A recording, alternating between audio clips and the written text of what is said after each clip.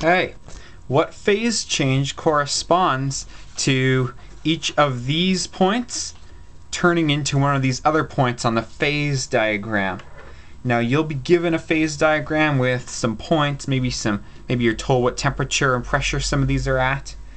But here's all you need to know. When you're given a phase diagram like this one, solid is always to the left. This is the solid area. Everything in this area, this, these temperature pressure combinations is a solid. Top right, liquid. Bottom right, gas. Always. This up here, beyond the critical point, I guess I'll draw a box for you. This is supercritical fluid.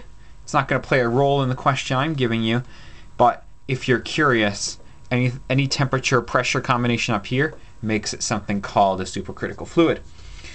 What phase change corresponds when you go from point A to point B? Point A is solid, point B is liquid. When something goes from a solid to a liquid, it's melting. Now, your teacher may call that something else, like fusion. It's just the chemistry word we use for melting. From point B to C, liquid to gas. A liquid turning into a gas is called evaporation. You probably knew that from like grade 5.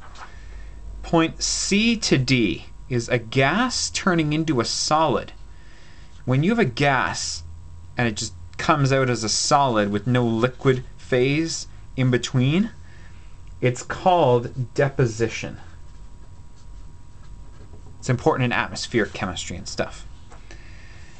D to C is when the solid turns straight into a gas with no liquid change in between. When a solid turns directly into a gas, that's called sublimation. The best example I have of that is when the frost evaporates off of the windshield of your car. It doesn't turn into water and then the water evaporates, the frost just kind of disappears. C to B, gas turning into a liquid. Well, you've seen that happen. It's called condensation. And B to A in this case, B is in the liquid zone, A is in the solid zone.